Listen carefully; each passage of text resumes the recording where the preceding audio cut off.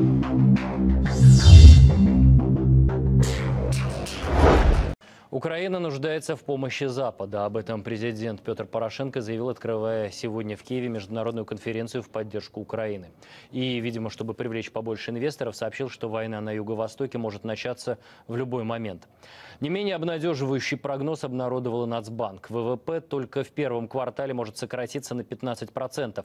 Что с этим делать в Киеве, похоже, не знают. Но зато уверены, что парад Победы 9 мая стране точно не нужен. Впрочем, у ветеранов все равно есть повод надеть свои награды. Из Киева Алексей Петров. Анна Федоровна Коломейцева прошла всю войну, стрелок-радист. Летала на Ил-2, Сталинград, Курская дуга, 27 медалей. Но теперь с ними по киевским улицам не пройти. готовы ордена снять, сбросить.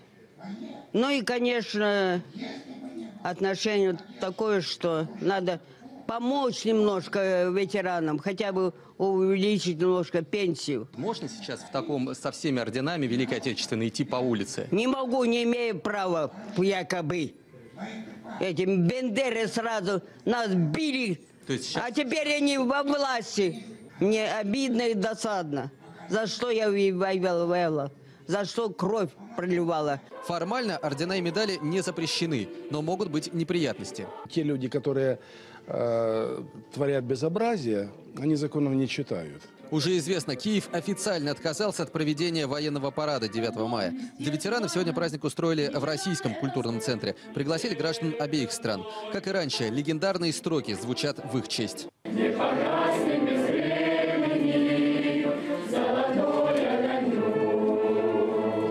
Песни Победы в исполнении детского хора, приехавшего из Ровно. Для педагогов это мужественный поступок, ведь на Западной Украине к подвигу советских солдат вполне определенное отношение.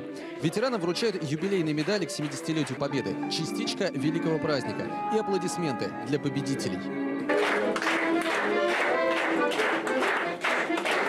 Константин Иванович Старостенков дошел до Берлина. Для него, как и для тысяч других фронтовиков на Украине, настоящей трагедией стали события на Юго-Востоке. Я был в это время в Берлине, и 2 мая объявляли, что фашистская Германия разгромлена. И мы думали, что больше войны не будет. К сожалению, пока еще на Украине не все спокойно. Вот это единственное, не только ветераны, но и народ Украины не хочет этой войны и не желает.